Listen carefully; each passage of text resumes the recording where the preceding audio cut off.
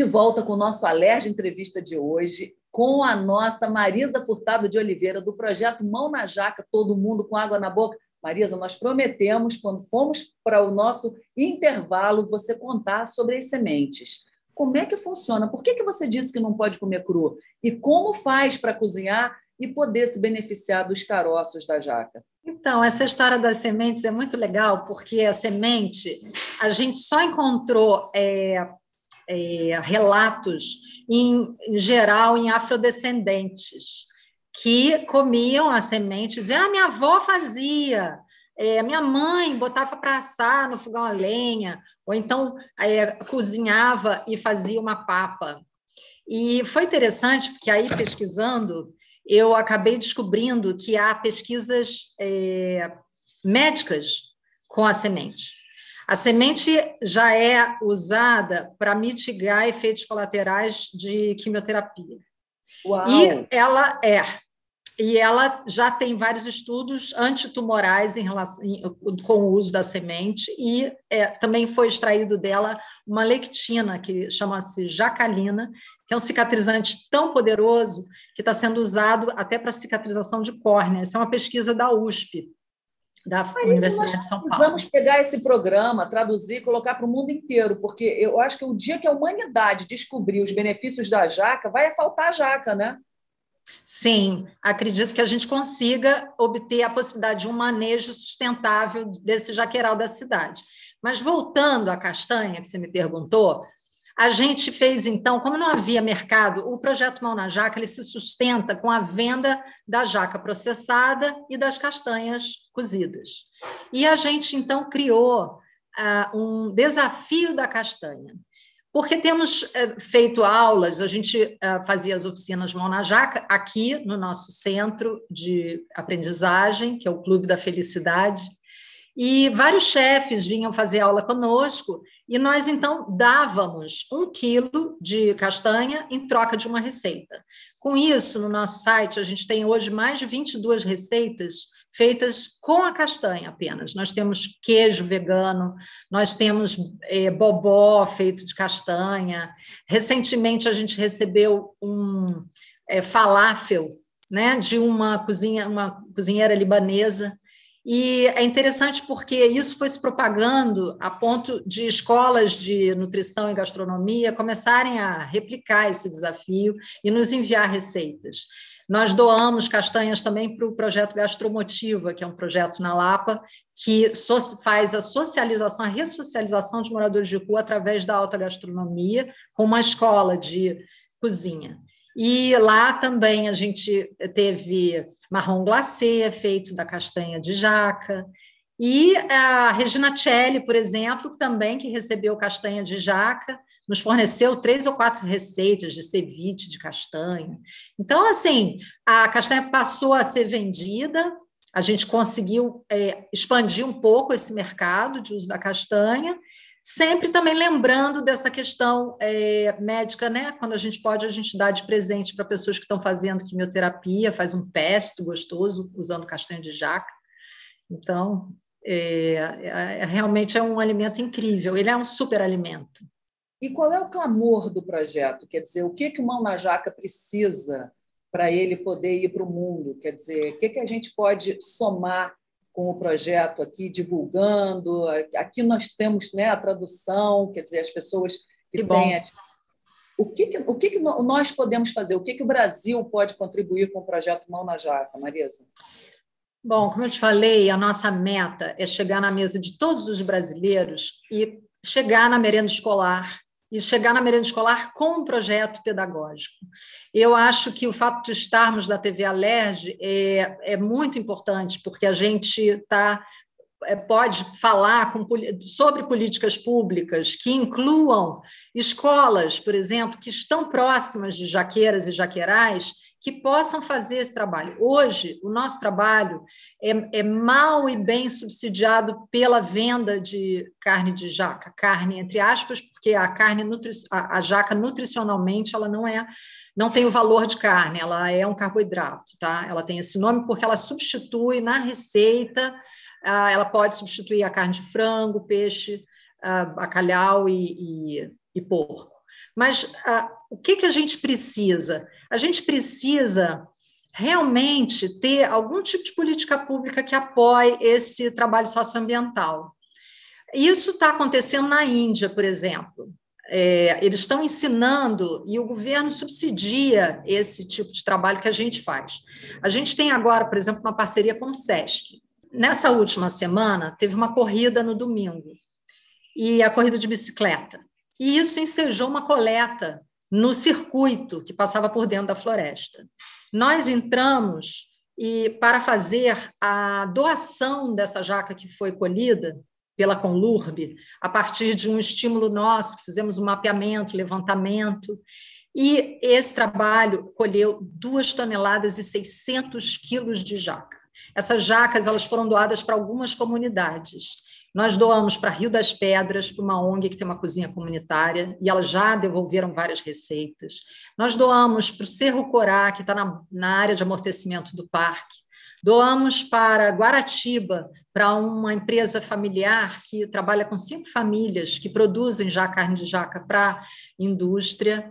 E ah, para o Mesa Brasil, que é um projeto do SESC que redistribui e distribuiu para o SEM, que já é nosso parceiro também, na Serra da Misericórdia, para inúmeras cozinhas comunitárias. O que, que nós queremos agora? Ensinar essas cozinhas comunitárias a processar a jaca e a beneficiar a jaca, fazer empadinha de jaca, coxinha de jaca, de maneira a capacitá-los a monetizar, a criar geração de renda e alimento para seus entornos, para suas comunidades.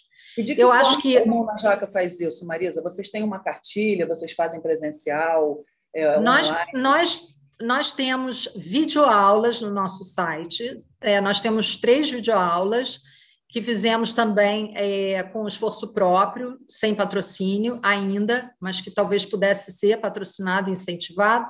E nós oferecemos essas aulas gratuitamente, para que as pessoas possam se capacitar pela videoaula, não seja só aula presencial. Nós também fazemos algumas aulas presenciais, é, fizemos já para o Jardim Botânico, para o Centro de Referência e de Educação lá, que trabalha com jovens do ensino médio, e fizemos agora no Cerro Corá. Com a pandemia, nós suspendemos as aulas presenciais que fazíamos, é, fazíamos aulas também cobrando e dando bolsas, mas agora a gente tem um entendimento de que esse é um processo escalável para todo o Brasil, porque eu recebo fotografias de jaqueiras em Brasília, com aquele clima seco, jaqueiras carregadas. Então, você imagina que a gente tem um litoral inteiro que pode trabalhar essa, esse aproveitamento da jaca verde, e a gente tem o Paraná já plantando, a gente tem a indústria chegando. Então, nosso desejo é que todas as pessoas possam produzir sua carne de jaca em casa, sejam capacitadas disso para terem soberania alimentar, para não precisarem comprar um alimento ultraprocessado, cheio de aditivos e conservantes no supermercado. Marisa, é, é uma fruta bem rústica, né? Então eu imagino que ela deve e antiga, fácil manejo. Qual é o tempo? Ah, quer dizer, não é aquela, aquele tipo de planta, vamos dizer, mal comparando com uma parreira, que você tem que ficar ali tomando conta, fazer o estaqueamento. A jaqueira ela tem essa autonomia. Em quanto tempo, de, em média, que a gente consegue que ela já comece a produzir? Em torno de cinco anos, a jaqueira já começa a produzir, mas isso depende muito do solo, da água, né? Agora, é, o processo de o processamento da jaca, da árvore até a mesa, ele se dá em duas etapas. Isso é muito importante saber. A primeira etapa é uma etapa de processamento, que quer dizer o quê? Você precisa escaldar essa fruta para poder debulhar e separar essa a, a, casca do seu interior, desfiá-la, separar as castanhas que são envolvidas a, a por verde. uma a verde, a jaca verde. Senão você não consegue é, debulhar a jaca verde sem escaldá-la, né? E você tem a questão dura. do visgo. Ela, ela é, muito, é muito dura, ela é muito difícil, né? E cortar a jaca é difícil também. Então, isso tudo a gente ensina na nossa aula 1. É, seria interessante, por exemplo, para quem trabalha com a jaca, chamar os amigos, né? Essa questão coletiva. Tanto no processamento é muito mais agradável você fazer coletivamente, como ao comer, porque cada um vai levar para casa, para você ter uma ideia, um quilo de jaca faz um jacalhau para oito pessoas. Então, uma jaca de 8 quilos, que você vai aproveitar 80%, vamos supor 7 quilos e pouco, você distribui entre sete pessoas e cada uma faz uma refeição para oito pessoas em casa. 7 vezes 8, 56 refeições em um fruto. Olha quantos frutos você tem ali atrás. Tá vendo? Boa. Um, dois, três, quatro, cinco, seis. Então, é, ela é coletiva, né?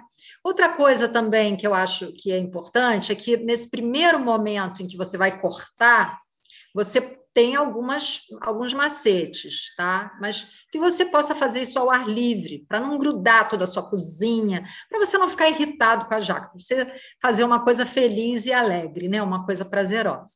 Então, Depois que você tem visgo, para que jaca, a jaca tem visgo. O visgo que também é muito cicatrizante, pode ser dissolvido em óleo e usado para cicatrização, mas os seus ah, tem gente que joga fora a panela porque ficou cheia de visgo. Não precisa, basta passar óleo e aí você dissolve o visgo todo no óleo, depois você passa sabão, tira e pronto. Tá? O visgo não tem assim um mistério muito grande depois que você descobre que, que o óleo resolve. E, e óleo, é óleo normal, óleo de cozinha? Óleo de cozinha, qualquer óleo. Você sabe que até o meu cremezinho de hidratante de mão, de vez em quando o Pedro usa lá no carro qualquer coisa oleosa vai dissolver o visgo.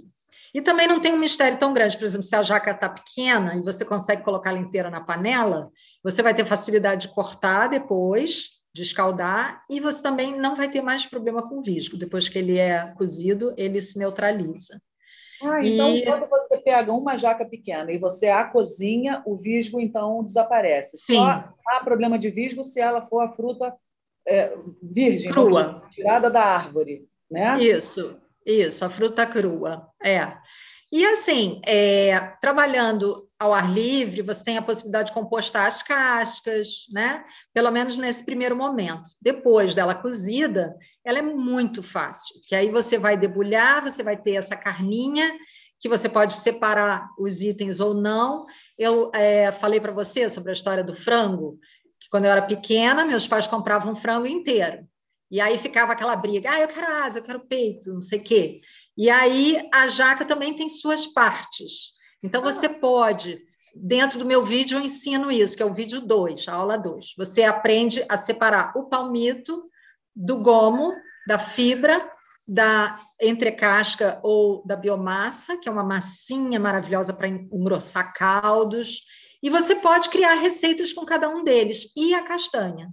A castanha também tem que ter um trabalho especial, porque ela é como a pipoca, que ela é envolvida numa, numa capa de celulose. Aí você tem que aprender a tirar essa capa de celulose para usar a castanha. Marisa, nós temos mais um minuto e meio. Eu queria que você deixasse um recado, que você deixasse a sua referência. E quem quiser participar, quem quiser receita, quem quiser entrar em contato com você, como é que faz?